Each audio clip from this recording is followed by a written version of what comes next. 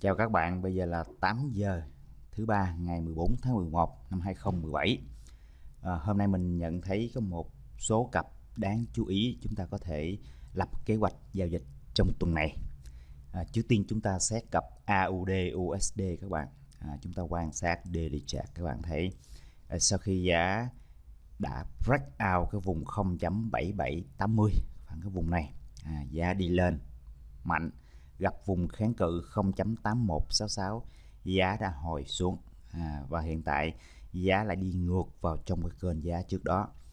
Và nằm dưới MA 200 mình cho rằng cái cặp này đang trong xu hướng đi xuống.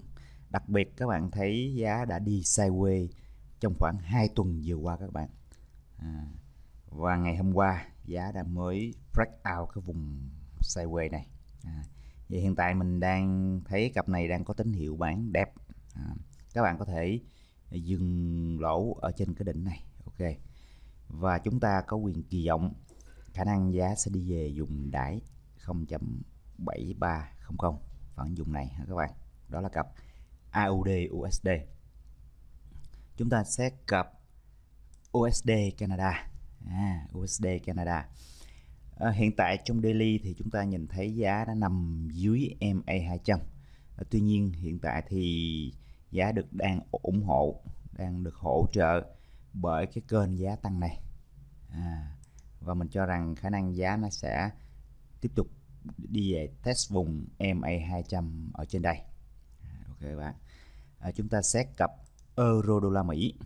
Ừ, euro đô la Mỹ thì cái mô hình vai đầu vai hiện tại vẫn đang còn hiệu lực các bạn à, và cái vùng giá ở trên đỉnh này đây là cái vùng chúng ta có thể enter vào thị trường để bán. À, chúng ta qua H4 các bạn nhìn kỹ hơn.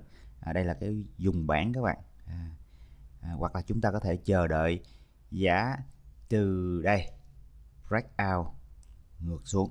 À, chúng ta sẽ enter lên sell à, đó là một số uh, cái kế hoạch giao dịch của mình trong tuần này.